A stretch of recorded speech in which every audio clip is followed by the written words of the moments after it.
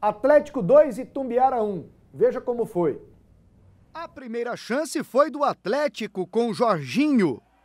O Dragão teve outra com Mike. Gilcinho na falta e Afonso fez a defesa. E o Atlético seguiu pressionando. Outra chance com Pedro Bambu. Mas aos 34, contra-ataque do Itumbiara. E David encontra Damião, que toca por baixo de Lucas Pereira.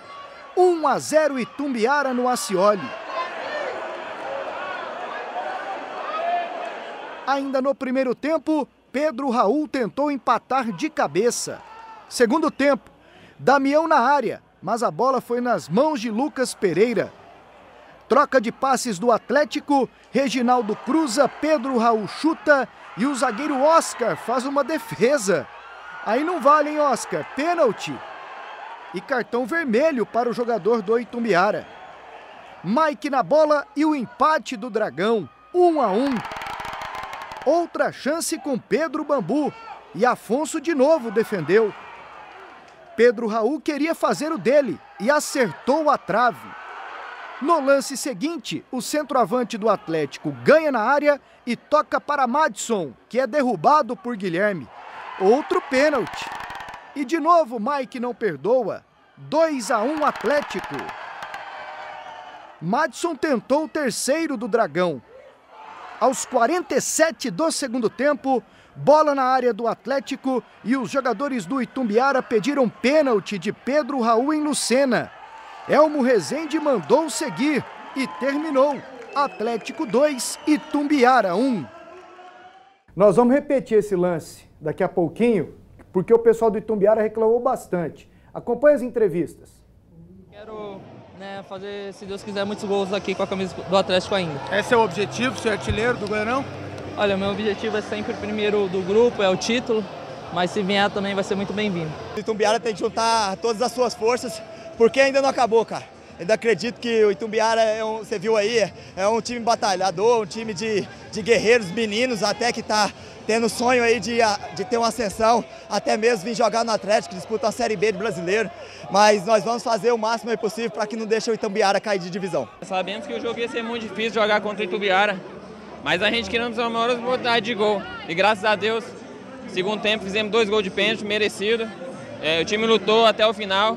Agora é descansar, fazer uma semana muito boa, porque é muito difícil jogar contra o Goiás, como fora, como dentro. Mas a gente está preparado, né? Vamos com tudo, vamos com, com o elenco forte para a gente sair com vitorioso contra o Goiás. Mas a gente precisa valorizar muito essa vitória. É, não só é, pelo que foi trabalhado, foi alertado que o, que o David, que, que o, o Miquel são jogadores rápidos, que eles iam jogar por um contra-ataque, a gente tinha que estar atento nos rebotes, reação rápida nos rebotes para não deixar e, essa lição tem que ser é, absorvida e não se repetir novamente, mas valorizar muito essa vitória, principalmente pela oportunidade de poder colocar os meninos da base, de poder colocar o Lucas, de poder colocar o Wagner, de poder colocar o Luan, Luan com 17 anos já poder estrear no profissional, então isso valoriza muito a nossa base e me deixa satisfeito porque os meninos estão merecendo a oportunidade. Jogando 10 horas da manhã, um sol desse, você toma o gol de empate, você perde um jogador expulso, você fica com 10, eh, a dificuldade ela vai aumentar. E foi o que aconteceu. Aí, um outro pênalti, 2 a 1 um, viraram, a gente saiu, saiu para o jogo tentando buscar um empate. No final, eu, eu onde eu estava, entendo que houve um pênalti, claro, né? Houve o um pênalti claro que o, que o Elmo não, não assinalou. Assinalou dois para o Atlético e foram. Não estou contestando quanto as penalidades contra a gente. Estou contestando o pênalti que houve para nós que ele não marcou. Então isso a gente já está acostumado, a gente vê direto isso aqui no futebol goiano, que quando aperta o jogo para as equipes grandes, vem o árbitro e, e, e, muitas vezes define. Então fica, fica ruim, né, cara? Fica ruim porque Uh, fizemos um, bom jogo e poderíamos até ter saído daqui com um resultado muito bom. Repete aí, bora repetindo e os comentaristas aqui opinam, por favor. É o Pedro Raul com o Lucena, nesse lance que o pessoal do Itumbiara reclama do pênalti. com vocês. Olha lá. Pênalti. Ah, deu um puxão. Puxou? Puxou, pelo braço, olha lá. Puxou com os dois braços, É, é, com um braço, né? Braço direito ali, dá pra ver Mas não claramente tava que ele fora, pega. não, Olha lá, olha lá, lá, Não, tá pegou. dentro da Tava dentro. Tá dentro, É tá da dentro. área. Dentro da área. Em, É da cima, área, em cima da linha é dentro da área, né? E o Elmo tá na, na cara ali. E uma coisa assim, Olha lá o braço. desnecessária. Pô, a hora que vocês tá pararam costas aí, ó. Nesse momento que vocês param aí é o ideal. Não, um É. pouquinho pra frente. É, ali mesmo. É, tá um pouquinho pra trás agora, já Puxou. tá puxando, né? Puxou. Foi pênalti. Que coisa, hein? Fica comprovado que o cara caiu pra trás. Tem uns que ele fala que foi puxado. Tanto é que os pés dele vão pra frente e ele É. vem pra trás, olha Olha lá. lá, ó. Puxou. E o Elmo tá perto, hein? Tá dando pra ver. Tem Não, gente ele que tá não vê perto, ele, não. não. ele tá em cima. É. Bem posicionado o Elmo Rezende. Pois é, hein? Pois olha lá, é. Olha lá, olha lá. E Olha aí, braço, e aí é o seguinte, Já tem tá umas, puxando. Já tá ali. puxando o braço direito no braço É. direito do cara. tem umas coincidências infelizes, né? O Adson fala da arbitragem na quinta, o Barbieri reclama no domingo, e antes no domingo tem esse trem aí, bicho. Todo mundo fala, todo mundo chora, e sempre tem um quê, um quezinho a mais. Mas deu Atlético, hein, Zé Roberto? É, deu deu. Dragão e o Mike com cinco gols. Cinco Os gols. pênaltis do Atlético, nenhuma dúvida, né? Nenhuma dúvida. Um toque de mão ali em cima da linha do Oscar e depois um pênalti né, totalmente é, infantil. Né? O jogador vai com tremenda violência para acertar a bola e acerta o jogador do Atlético que pouco antes é, tinha tirado a bola do alcance dele. É, então, dois pênaltis bem marcados para o Atlético e o Elmo, praticamente no último lance, não marcou esse pênalti aí a favor do Itumbiara, que fica só com sete pontos, numa situação bastante delicada na classificação com a rea- reação do Iporá. A reação do Iporá é, complicou muito o Itumbiara porque a campanha do Itumbiara já era ruim. E aí ele tinha um adversário com quatro pontos que em cinco dias foi para dez pontos. É, o Iporá embananou a vida de todo mundo lá embaixo. E Evandro, na coletiva o Wagner falou dos meninos que ele colocou para jogar hoje. Detalhe, ele pula o sub-20. Ele falou mal do sub-20, que não iria aproveitar ninguém, não aproveita. Os meninos que entraram hoje são do sub-17. É, o Wagner e o goleiro- Luan. E o goleiro já estava no ano passado. É, o goleirão veio inclusive do Havaí, o Lucas. Ele disse que já tinha jogado lá com o Maurício Kozlinski, goleiro do Atlético, falou na coletiva hoje.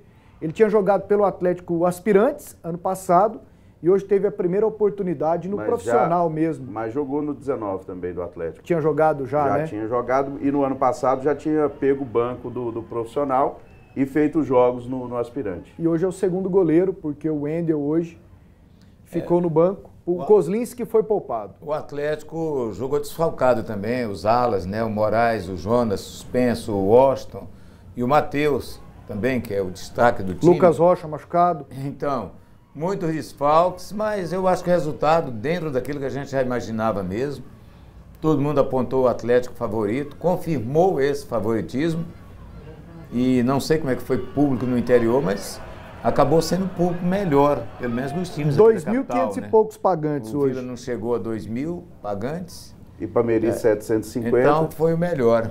Eu não Lá- sei, é, Iporá não deve ter dado mais lá, que isso em- também. lá em Anápolis. Vamos lá. Foi Goiânia ontem 608, o Atlético hoje 2.559, Iporá 1, Aparecidense 0, 494 pagantes, Novo Horizonte e Goiás 726, Grêmio Anápolis e Goianésia 141 a pagantes maioria do Goianese. e o Vila Nova hoje com 1.663. Esse público no Acioli de hoje, se é no Olímpico, dá 483 pagantes. Mil torcedores.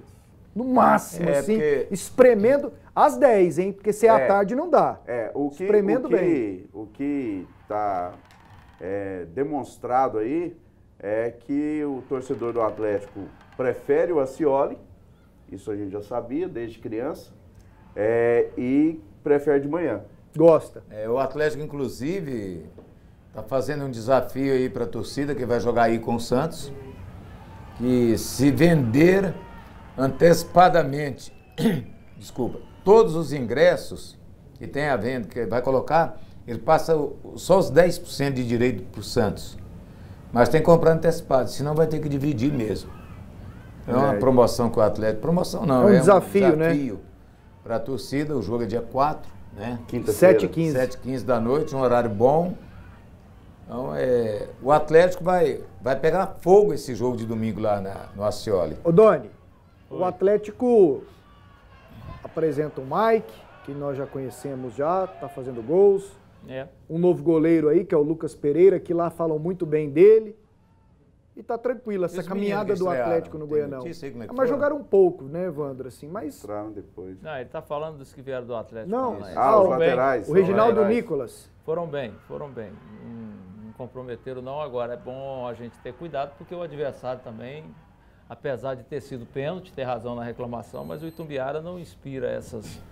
é, não dá esse, esse aperto todo, né? Pra gente ver se o cara foi muito bem mesmo. O Atlético está se organizando aos poucos, né, Pasqueto? A- Acho que é, no começo da temporada o, o Wagner andou cometendo aí uns equívocos, talvez é, mexendo demais no time. Aí, na medida que ele começou a ter uma certa base, é, o time cresceu. né? Do meio campo para frente já tem tempo que, que vinha bem ajustado, com o Mateuzinho jogando muito bem, o Mike jogando muito bem. Esse Pedro Raul é, é, che- chegou encaixou muito bem ali como centroavante. O Atlético estava com falta desse jogador, desde que de lá saiu o Júnior Brandão, que parece que só jogou lá também. Né? Jogou um pouquinho no Iporá também, né? algumas, alguns jogos, mas é, tinha ainda problemas na defesa e parece que está se organizando. Aos poucos, o Atlético vai se ajustando. É, precisa, a gente vai ver agora, de fato, é, qual é a qualidade desse Atlético atual desse jogo contra o Goiás. É um clássico em que acredita-se, eu particularmente acredito que será um jogo pegado, um jogo difícil, porque o Goiás não vai querer perder esse jogo. Já teve esse empate hoje que não estava nos planos e, obviamente, deve entrar com muita força o Goiás e o Atlético também vai mostrar a força que tem. É uma vantagem grande para o Atlético jogar no Acioli, porque realmente o Atlético faz do Acioli, um, não vou dizer um alçapão, porque não é alçapão, porque não enche tanto assim, mas é um, o mando de campo do Atlético no Acioli é muito forte. E o Goiás vai enfrentar isso lá e, e aí a gente vai ver como é que está realmente a força desse negócio do Atlético. Agora, sobre os meninos que vocês estão falando tanto aí do Sub-17, pelo menos o, o Wagner Lopes corrige um erro, né? Porque não olhar a categoria de base do clube que ele está dirigindo, não, não existe.